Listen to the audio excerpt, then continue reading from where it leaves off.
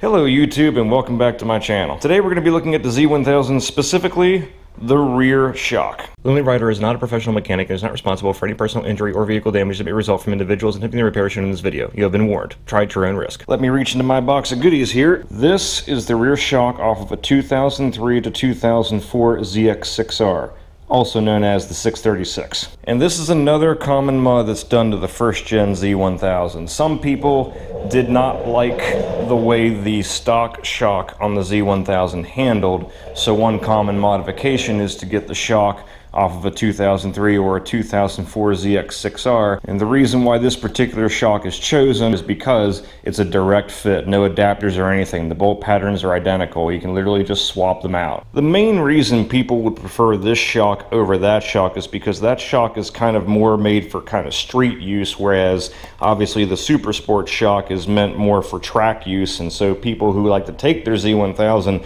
on the track or do some pretty intense canyon carving or whatever uh, prefer this shock over the original just because it, it, gives you better grip in high speed turns. This was actually the shock that was on the bike when I bought it from the previous owner, but he also gave me the original shock along with it. I opted to switch back to the original shock, so I took this off and put it back on. The main reason being one, as I've said before, I don't really do track days, so this is really unnecessary. And two, this bike was a three-tone color. It was black, red, and gold. And as you can see, the original shock is colored to match it. It's painted gold, and I don't know if you can see, but the spring is actually a red spring down in there. So the original shock actually fits the color and look of the bike, whereas this one is just this ugly gunmetal gray color and it was just an eyesore in the back of that thing. So I switched back to the stock one mainly for the looks but also because again I, I don't really need this shock because I don't do track days. And for me once I adjusted the preload on the rear shock and made it a little stiffer I actually thought it seems to work fine. But I do know that a lot of people swear up and down about putting this on the bike saying that it makes a tremendous difference in the turns. So today I'm going to show you how to switch the rear shock shock on your first gen Z1000. For starters, you want to go ahead and lift the bike up with your sport bike stand. Step two, you're going to want to remove these side covers. It's just three screws there, there, and one down there. Go ahead and remove this one and remove the one on the other side. Now after you take both covers off, you might notice something a little strange. There's a hole in your bike. Perfect. You're gonna wanna find yourself a piece of pipe or a rod or something, something strong and sturdy that can hold a couple hundred pounds. Slide it through there and we're gonna use that to lift the back end of the bike up and take the weight off the swing arm.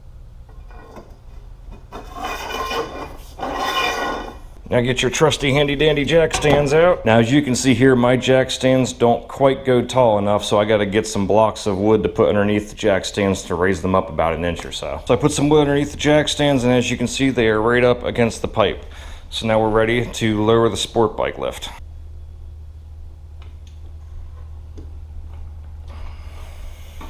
You should have enough lift that when you're done, your rear wheel will be about an inch and a half, maybe two inches off the ground. The nice thing about utilizing this is that the weight of the gas tank and the engine and the whole front end is on this side. So that's enough weight over here that your front end should stay down while you're working on the back. At this point, it's a good idea to go ahead and put some wheel chucks on your front wheel to keep it from moving. With the bike being raised up by the frame, all of the weight is off the swing arm and the shock is completely decompressed. Once you get the bike to this point, removing the rear shock is actually pretty simple. You have to go ahead and break this bolt loose and then break that bolt loose because you have to remove this pivot point from the dog bones because you need to be able to spin it out of your way so that when you remove the bolt at the top of the shock, you can slide it down from the bottom. This first bolt, this side is a 12 millimeter, the nut on the other side is a 14 millimeter.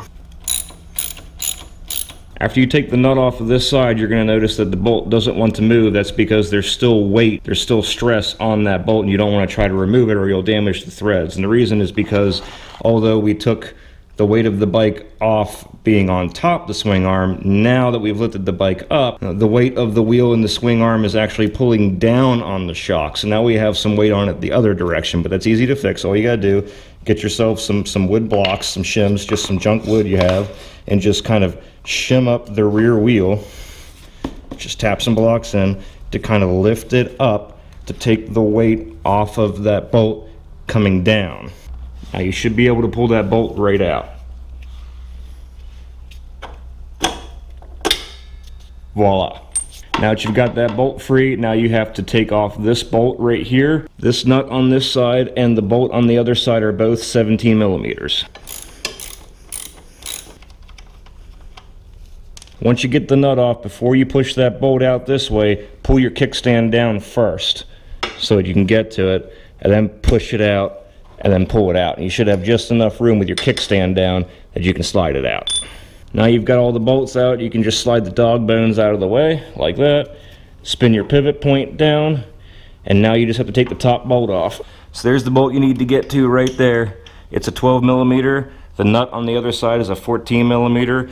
Um, you're not going to be able to get to it with a wrench on this side because the regulator rectifier is right in your way.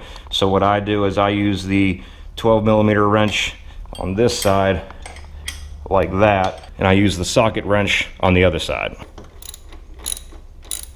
After you broke it loose, take the nut on this side off first, but leave the bolt in it. Now, as you can see, that bolt in there is a little hard to get to with your hand. You could move the brake reservoir out of the way or maybe unhook this, your uh, rear brake sensor and stuff like that. But honestly, you should be able to just reach in there with like a pair of needle nose pliers, grab a hold of it, hold the shock with your left hand, and while you're holding it, just pull the bolt out with the pliers. You ready? Now just slide the shock down and out from underneath. There it is. Now as you can see, the Z1000 shock and the ZX6R shock are designed a little differently at the top, but don't worry about that. It does fit, I can confirm, because again, this was the one that was on my bike when I bought it, but the bolt patterns are identical. The bolt sizes, the bolt distances, they're identical. So it's a direct swap, no adapters needed, even though the top portion is designed a little differently. It will fit in the bike just fine. There's clearance everywhere.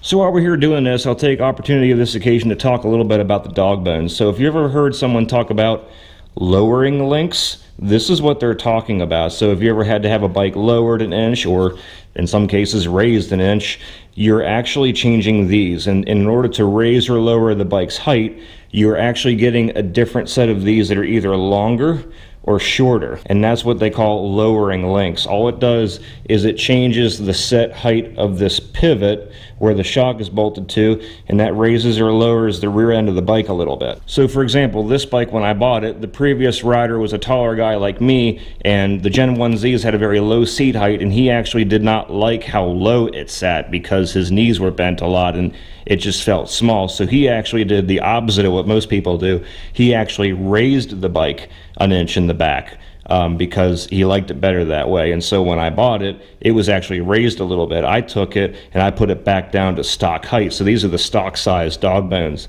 But here are the dog bones that he had on the bike. And as you can see, if I put them up here, see there how they're about a half an inch shorter?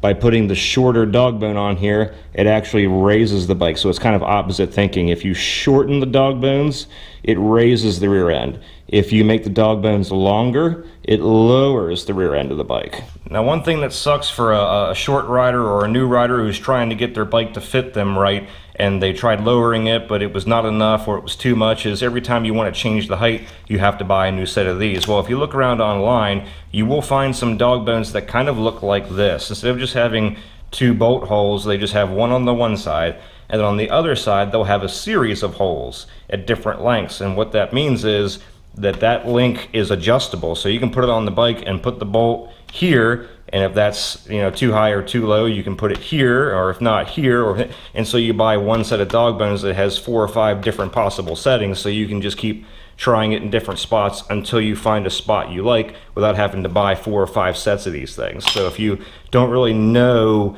where you want your bike to be at. You want to kind of play with it. Get the dog bones that are like these that are adjustable so you have a couple of different settings that you can try. That's how you remove the rear shock out of a Gen 1 Z1000. At this point, you could either replace it with another original shock or you could put uh, you know, a 2003 or a 2004 636 shock on if you wanted to do the uh, Ninja shock swap. It's really up to you, but that's how you remove it. So now we're gonna go ahead and I'm gonna put my original shock back in again. Kind of get it kind of propped and set up there with your left hand. Grab it at the bottom, get your bolt ready with your pliers with your right hand. Grab the shock and just kind of lift it up with your left hand. Lift it back into position. Get the bolt with your pliers with your right hand and just push the bolt in. Now go ahead and put the nut back on the other side. Now go ahead and reassemble everything down here. So first things first, spin your dog bones back around, line them up, and slide your bolts in. Now getting this last bolt in is a little tricky because it probably won't be exactly lined up. So what you might have to do is uh, gradually kind of take some of your shims out from underneath the wheel, kind of lowering it a little bit just to get that uh, just to get that bolt holder line back up enough that you can get this bolt back in.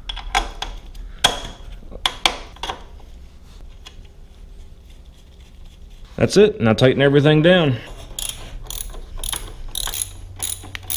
Now we're going to go ahead and lift it back up with the sport bike lift, take the jack stands off, take the pipe out, and put the side covers back on, and then we're completely done.